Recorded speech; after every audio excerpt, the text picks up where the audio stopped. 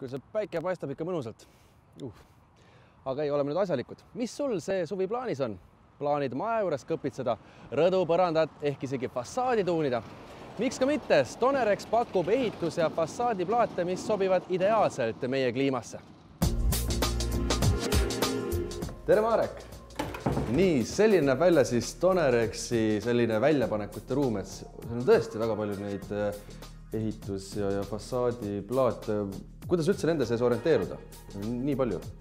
ja me jaotamegi tegelikult enda plaadid siis ehitusplaatideks mm -hmm. ja fassaadiplaatideks. nii. ehitusplaatidest esi, esimesena tooks välja siis Stonerex Fireproofi, mis on tulekindel plaat, sobilik sisekonstruktsioonidesse igale poole tulekollete kõrvale näiteks, kus on vaja tulekindlust tõsta või siis vaheseintesse. näiteks sobib see plaat kerise taha, taga on näiteks puitsein siis sinna vahele lihtsalt temperatuuri takistamiseks. Näiteks järgmiseks tooks välja Stonerex Windshieldi, mis on siis tuuletõkkena kasutatav plaat. ta võib olla ilma fassaadikatteta kaksteist kuud. kui fassaadipaigaldus peaks näiteks toppama jääma, siis saab selle panna tuuletõkkena seina ja sein võib olla siis kaksteist kuud ilma katteta. lisaks siis ehitusplaatidele on meil ka valikus erinevad fassaadiplaadid. seda me siis töötleme ja värvime siin meil Sauel tehases. -hmm. meil on tsementplaastplaadid, mida me värvime, lõikame ja kivi purutame ja siis on tsementkiudplaadid, mida me siis töötleme samamoodi. Marek, et mis suur aparaat see siin on, kas siin toimub siis nende plaatide värvimine? täpselt nii, plaat läheb sealt otsast sisse, siin plaat harjadega puhastatakse, siis liigub edasi siia, kus siis plaat soojendatakse õigele temperatuurile, et värv püsiks paremini kvaliteetsemalt peal. Ja siis plaadi mõõdud skaneeritakse, et kõik, kogu plaat saaks ühtlaselt kaetud. Ning siis liigub plaat siis värvikambrisse, kus siis pihustid kannavad plaadi peale värvi.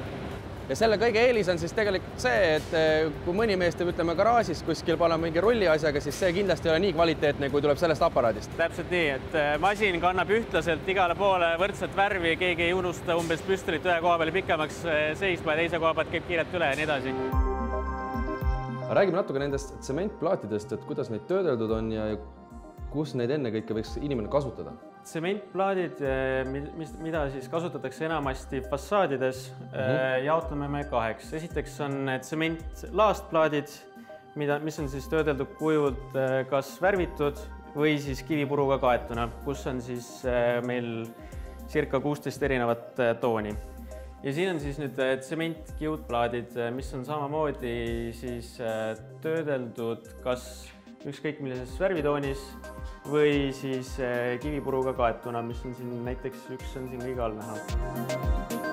tsementlaastplaadi ja kiudplaadi erinevus põhiliselt on selles, et tsementlaastplaat sisaldab kuuskümmend viis protsenti puidulaastusid, tsementkiudplaat aga on kokku pressitud fiibrist ja, ja tsemendimassist. vähe tugevam plaat aga siin selja taga on nüüd veel ikka päris sellised seinamõõtu näidised, et. siin on siis nüüd kivipuru kattega tsementplaadid. erinevaid kivipurutoone on meil üle viieteistkümne. Neid me siis siin Sauel töötleme, katame kivipuru kattega kliendi soovil vastava tooni, vastavas toonis ja see on hästi sobilik fassaadi. ja see on siin nüüd siis selline puidu imitatsiooniga tsementplaat, mida siis tihti kasutatakse noh, nii-öelda ühildatakse, et paneme kuskile näiteks soklisse läheb see kivipuruplaat, akende vahele paneme sellise puidu imitatsiooniga ülekattega plaadi ja siis kuskile veel siis lihtsalt siledad tsementplaadid. selle plaadi eelis tavalise puidu ees on see, et see ei idane ega mädane. kaua ta eluiga on siis? No ütleme nii, et näiteks Põhjamaades võib leida siin sellise kivipurukattega tsementplaate isegi viiekümne aasta vanuseid. plaadid on kõik peaaegu hooldusvabad, ehk siis kui peakski mingisugune samblik peale kasvama näiteks põhjaküljele, siis saab survepesuriga lihtsalt madalal temperatuuril selle maha pesta. ja siin on siis penoplast samamoodi ära kaetud. see on meil selline väga unikaalne toode, selline kaks ühes. klient saab enda sokli ära soojustada ja samal ajal kohe ka viimistleda ja kui te veel ikkagi kõhklete ja kardate, et noh, ikka ei julge päris oma soklisse panna penoplasti, mis on kaetud kivipuruga, siis ärge kartke. isegi kui poiss paneb kõva piraka palliga vastu seda, siis mitte midagi ei juhtu, näete, üheksakümmend viis kilo on siin peal. mitte midagi ei juhtu. Stonerexis saab veel nii toredaid kivisid, nagu näiteks see siin on. Ehk siis on täiesti võimalik enda maja seinale panna näiteks oma kallima pildid, eks kivi peale lasta ka siis päris fotosid. täpselt nii, põhimõtteliselt Eh, meie plaatidega nagu arhitektil on ikka väga lõbus, et siin väga mingeid piiranguid ei ole, võid printida sinna peale midagi, saab selliste erinevate mustritega plaate tellida mm. -hmm. võimalik on veel ka sellise noh, ütleme siis marmori sarnase töötlusega või siis sellise pikama sammuga mustriga. ühesõnaga. valikut on. valikut jätkub. valikut on